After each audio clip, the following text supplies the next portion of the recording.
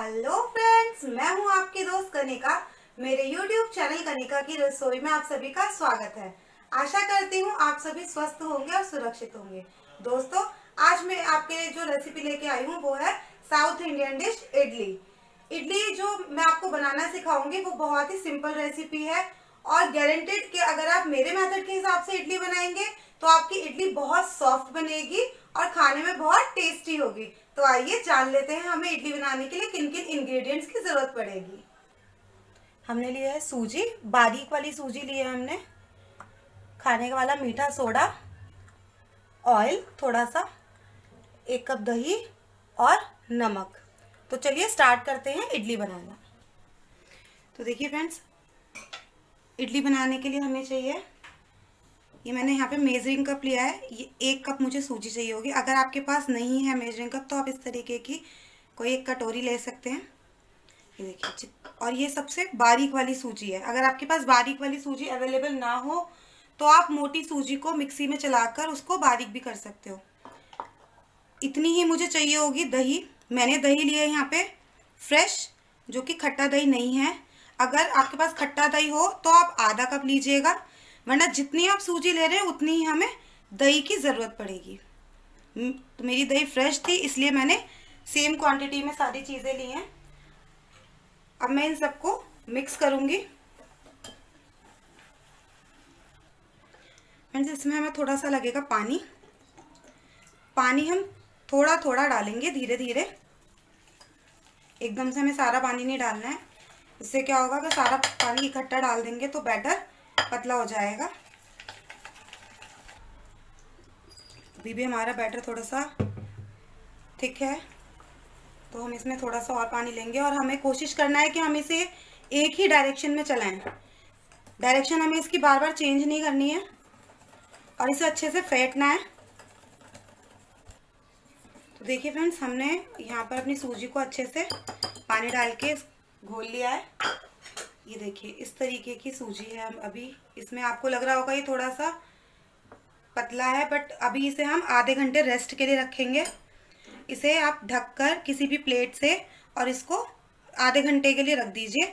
आधे घंटे बाद इसके अंदर हम नमक भी डालेंगे और बाकी जो चीज़ें हैं वो डालेंगे। अभी मैंने नमक भी नहीं डाला है इसके अंदर।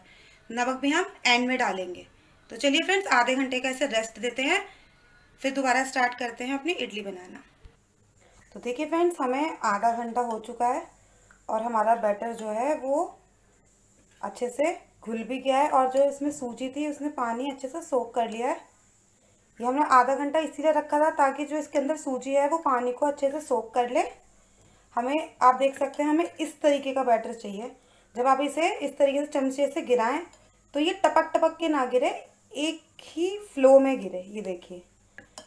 इसमें मुझे करीबन एक सवा कप पानी लगा है। बाकी आपकी दही अगर पतली होगी तो आपको कम पानी लगेगा और अगर दही जो है गाढ़ी होगी तो इससे थोड़ा सा एक्स्ट्रा पानी भी लग सकता है। देखिए, हमारा बैटर बिल्कुल तैयार है। चलिए, हमारा बैटर तो यहाँ पर रेडी हो गया है। अब करते हैं। यहाँ मैंने एक कुकर ले लिया है। ये मैं आपको स्टीमर में नहीं कुकर में ही बनाना सिखा रही हूँ। क्योंकि स्टीमर भी बहुत सारे लोगों के पास नहीं होता, जिस वजह से वो इडली, ढोकला, ये सारी चीज़ें बनाना अवॉइड करते हैं। तो अब आपको अवॉइड करने की ज़रूरत नहीं है। तो चलिए, यहाँ मैंने, मैं इसमें दो ग्लास पानी डाल दूँगी। देखिए फ्रेंड्स मैंने इसमें एक से दो ग्लास पानी डाल लिया है। अब मैंने एक इस तरीके का छोटा बर्तन लिया है, जिसमें मैंने थोड़ा सा पानी और डाल लिया है और मैं इसे इसके अंदर रख दूँगी। ये पानी मैंने इसलिए लिया, इसके अंदर इसलिए डाला है ताकि जब हम इसके ऊपर अपनी इडलियाँ रखें तो वो पानी इसके अंदर ना जाए। तो इससे क्या होगा, इस कटोरी से पानी का बचाव होगा और हमारी इडलियाँ गीली नहीं होंगी।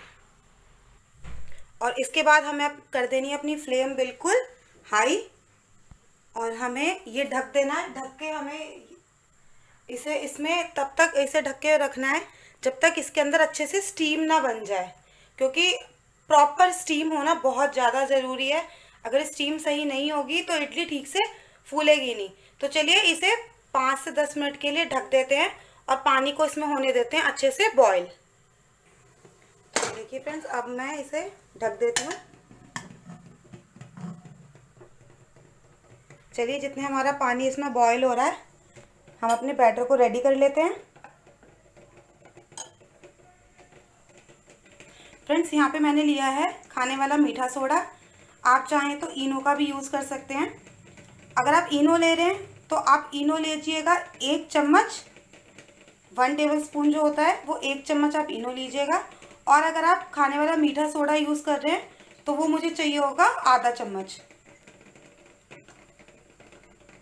देखिए फ्रेंड्स यहाँ मैंने आधा चम्मच खाने वाला मीठा सोडा लिया है।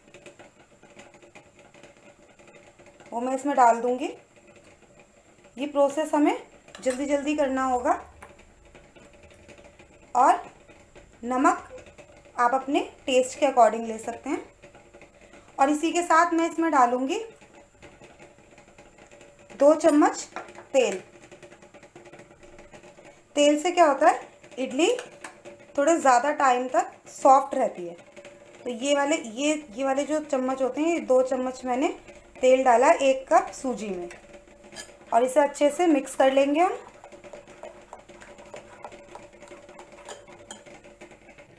तो देखिए फ्रेंड्स यहाँ पे मैंने मोल्ड ले लिया है। अब मैं इसे हल्का हल्का सा ऑयल से ग्रीस कर लूँगी। अगर आपके पास स्टीमर अवेलेबल है तो आप इसे स्टीमर में भी बना सकते हैं। और, और ग्रीस करने के बाद मैं इसके अंदर बैटर को डाल दूँगी। हमें ये पूरा ऊपर तक फिल नहीं करना है। थोड़ी सी इसमें हमें स्पेस रखनी होगी ताकि जब इडली फूले तो उसे फूलने के बाद थोड़ा स्पेस मिले।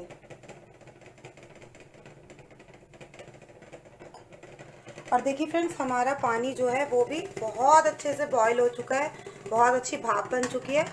तो चलिए, अब अपने इस मोल्ड को हम इसके अंदर रख देते हैं।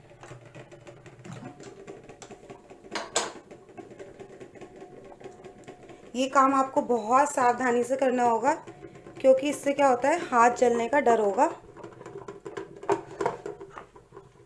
ये देखिए। और इसे हमें वापस से ढक के आठ मिनट तक के लिए, हमें इसे आठ मिनट के लिए अच्छे से पका, इसे भाप लगानी है। तो देखिए फ्रेंड्स, मैंने इस तरीके से इसकी सीटी बाहर निकाल दी थी और कुकर को बंद कर दिया था बंद।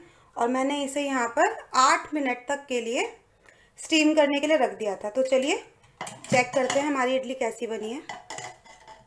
देखिए फ्रेंड्स हमारी इडली बिल्कुल परफेक्ट बन के तैयार हो गई है। चलिए इन्हें बाहर निकाल लेते हैं। तो चलिए फ्रेंड्स अब इन्हें इस मोल्ड से बाहर निकाल लेते हैं। बहुत इजीली ये बाहर आ जाते हैं। एक फॉक ले लिया है हमने।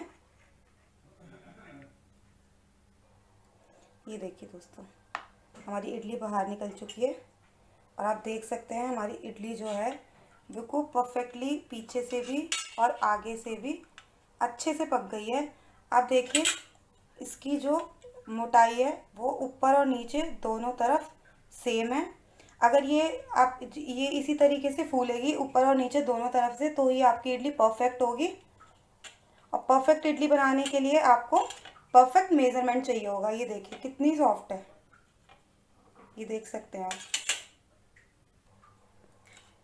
देखिए फ्रेंड्स, मैंने अपनी इडली सारी मोल्ड से बाहर निकाल ली है और आप देख सकते हैं सारी इडली इक्वली पक गई हैं अच्छे से। चलिए फ्रेंड्स, हम इसकी प्लेटिंग कर लेते हैं। तो देखिए फ्रेंड्स, हमारी इडली तैयार है और हमने कर ली है इसकी प्लेटिंग फ्रेंड्स, आप भी ये रेसिपी अपने घर पर ज़रूर ट्राई करिएगा और स्टेप बाय स्टेप जैसे मैंने आपको बताया है अगर आप वैसे ही रेसिपी ट्राई करते हैं तो आई एम श्योर कि आपकी इडली भी इसी तरीके से बहुत ज़्यादा सॉफ्ट और फूली फूली सी बनेंगी। तो फ्रेंड्स ज़रूर ट्राई करिएगा और मुझे कमेंट करके बताइएगा कि आपको मेरी ये रेसिपी कैसी लगी।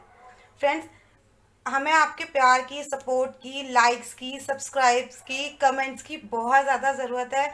Please friends like subscribe comment ज़रूर करिए। और आ, हम आपको दूसरी वीडियो ऐसी और अच्छी अच्छी वीडियोस लाते रहेंगे तब तक। आप प्लीज़ अपना और अपनी फैमिली का ध्यान रखिए घर में रहिए और सुरक्षित रहिए। मिलते हैं अगली बार एक नई रेसिपी के साथ। Bye bye friends